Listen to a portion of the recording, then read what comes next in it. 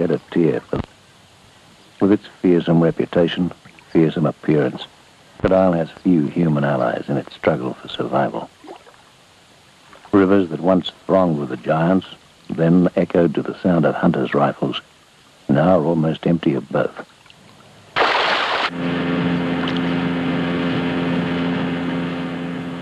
In the flooded rivers of Australia's remote Gulf country, a tiny task force searches out the last big crocs. But the object of the hunt is not to kill. The men at Edward River capture crocodiles alive.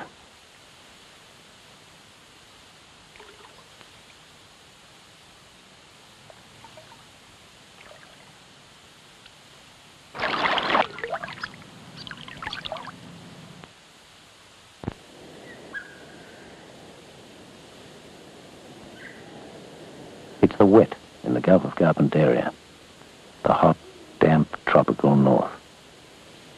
This annual monsoon season feeds a teeming variety of life. Three months of humid fertility to balance the dusty dry of the rest of the year. The wet provides a wealth of food through the chain of animal life in the Gulf.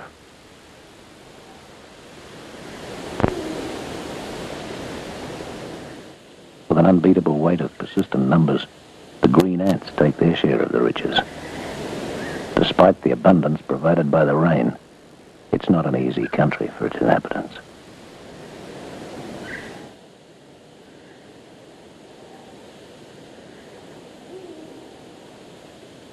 It's a land of predators at all levels.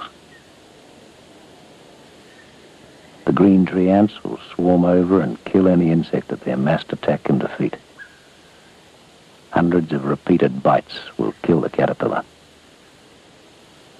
The caterpillar will be carried by the cooperative group of hunters back to the nest of leaves high in the tree to be fed to the green ant's larvae. It's the wet. And like all the predators of the Gulf, the green tree ant is stocking up on food.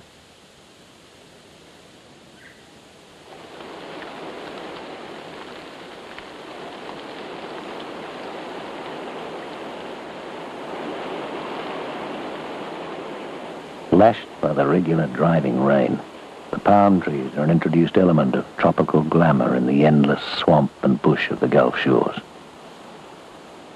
This is Edward River, the heart of crocodile country. We filmed the crocodile right through the wet, joined the men who search out the few remaining nests in the tangled maze of winding rivers. In the wet, even those confused landmarks are lost in an endless sheet of water. Aerial photographs help Joe Bredl locate the nests. The target for the hunt is not the harmless Australian freshwater crocodile. Joe Bredl scours the rivers that are the home of the massive saltwater crocodile. Because this reptile's killed man, his plight attracts little sympathy. This year, Joe Bredl's racing against time to find and save the crocodile's young. For the second season in succession, the balance of the wet has tipped against the saltwater crocodile. A cyclone and nine days of continuous rain lifted water levels. The riverside nests built by the last saltwater crocodiles have been flooded out and drowned.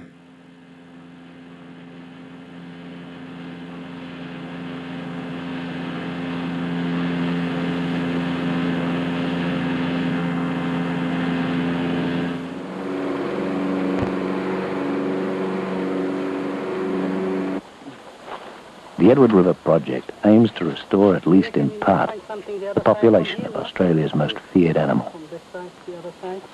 To save the crocodile, reptile expert Joe Bredl and his assistants Ned Edwards and Stingery Barney of Edward River must find and steal the eggs from the few remaining nests. We go back to the Chiligo and, and we try a Chiligo, huh? It's a difficult and dangerous task. Difficult because nests are now rare.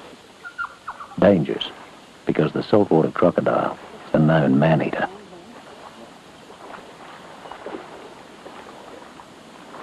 The project was devised by an Australian-based scientist who's a world authority on the crocodile, Dr. Robert Bustard. director of the Applied Ecology Unit.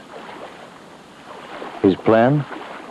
To steal the eggs and young, raise them through their first difficult year, safe from animal and human predation. The farm will be operated by the people of Edward River. A controlled harvest will provide an income from valuable skins. Looks like most of the nest's gonna be washed out this season, uh, Ned. Don't you reckon? Too much high water. Oh, this is this used to be good place here. It's too much high water. Find anything, Stingray? Nothing. Nothing. You had a good look? Good look right up. Look right up, right around the... Like I've been come back nothing. Huh? Dad, what do you think? Why, why no, nothing you find? Why don't you find anything? What do you think? Haven't got any guana. Hmm? Haven't found a guana. You find a guana. Guana in a guana. There's a of oil in guana water. Huh? You're going in the water. All water. All right, let's get in. To the water. The search continues. Further up the flooded Marleman River, Joe knows of a nesting site regularly used by a large saltwater crocodile. It's on higher ground and may have been saved from the rising water. The Marleman River is, by Gulf standards, a well-travelled waterway. The big croc here, accustomed to the harmless sound of the stockboats, may have less fear of man. Attacks on men by saltwater crocodiles guarding the nest have often been recorded.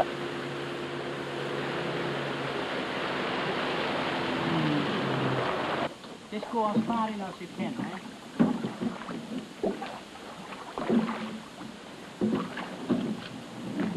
Well, you sit there, Stinger. I will just watch for the clock, huh? Tell me if she's there. Yeah. Joe Bredl carries a gun. Only the worst emergency would persuade him to use it against his beloved crocodiles. To shoot one of the remaining big ones would be a tragedy.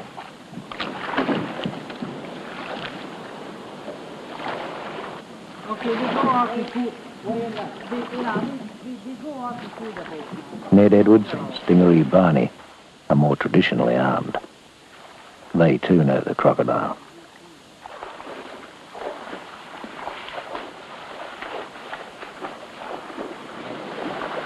The flooding has forced the searching group to leave the protection of the boat and wade through knee-deep water and concealing grass towards the nest. The mother croc stays near the nest. She's certainly in the water nearby. This is the crocodile's slide, the pathway to the river from the nest.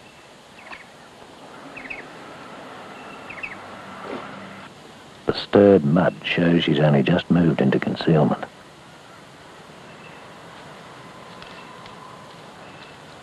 But the female crocodile has been guarding offspring that are already dead. In this nest, perhaps 50 baby crocodiles, a significant number of replacements for the shrunken population, have been killed by the extremes of the wet.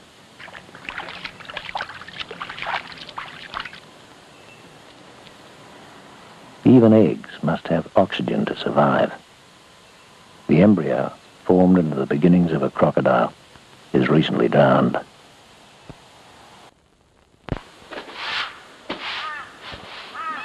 One of the more than 1,000 crocodiles now held in pens and pools at the Edward River Farm defends the man-made territory he's claimed for his own. Joe's son, Robbie Bredl, treats the crocodile's attacks casually. But the five-footer could inflict serious injury to his tearing jaws.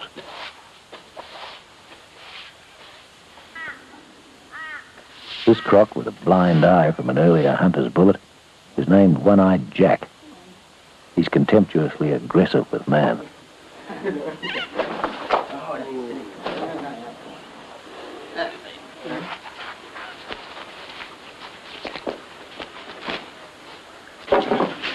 His learned lack of fear means that he may not be released back into the rivers.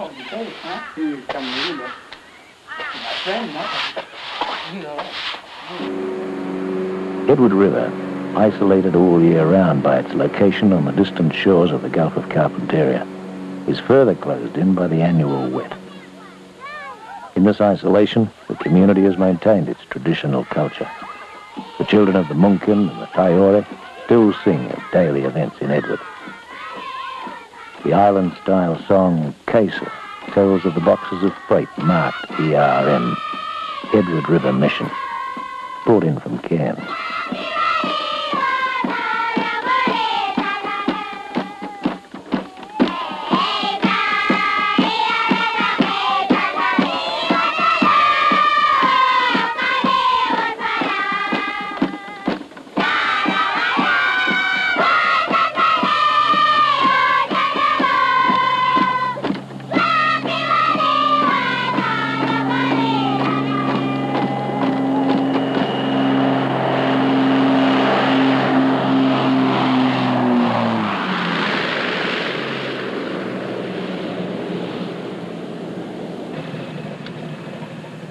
Times weekly, Cairns-based Bush Pilots Airways calls in at Edward with mail and supplies. Bush Pilots' network of regular flights through the wildest areas of remote Australia is the only constant link with the outside world for Edward River. During the dry, trucks make the long haul through Cape York to Edward River. But the wet completely cuts off access along the rough bush roads. The hard-packed sand of the Edward River airstrip allows the twin-engined aircraft in during all but the worst of the monsoon. Strange cargo. A former crocodile shooter from Weipa has trapped a number of the crocodiles which he formerly hunted for their skins. The saltwater crocodile has been little studied by science, and the experienced hunter is still the expert on their location and habits. The live crocodiles are carefully delivered in damp sacks. You must have got onto some good spot. Oh, well, There's not much here now. no, no. The Weipa crocodiles are released into the Edward River Farm's large enclosures.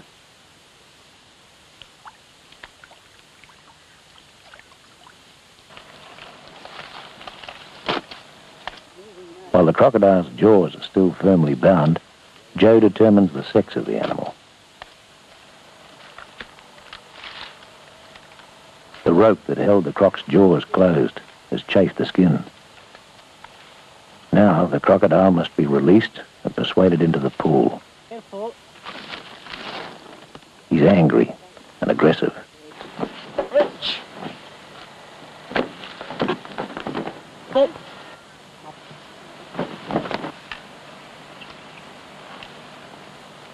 Crocodiles are untamable, maintaining their fierce habits even after years in captivity. But the lunges and fierce snapping of the jaws are not just a temperamental viciousness. The crocodile is acting in defense, Oh, it, repelling an apparent aggressor.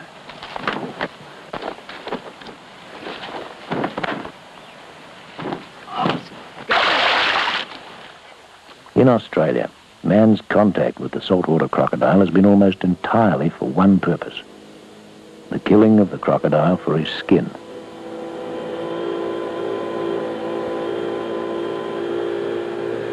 Apart from a widespread fear of the giant crocodile's hunting habits, his ability to wait motionless near the water's edge to seize his prey, little is generally known about his behavior.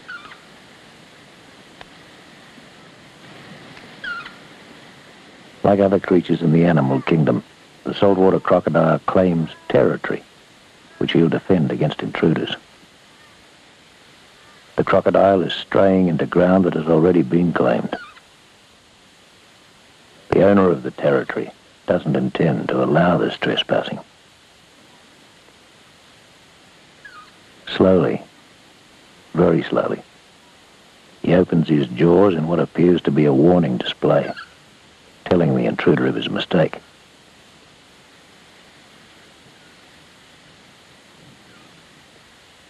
With many animals, a display of ritual threats is often enough to cause an intruder to beat a retreat. But on this occasion, the crocodile continues to advance into the other's territory.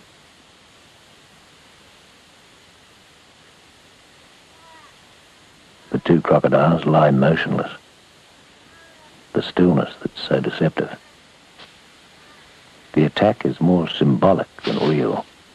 The crocodile's not defending his territory with savage bites, but with snapping blows of his jaw.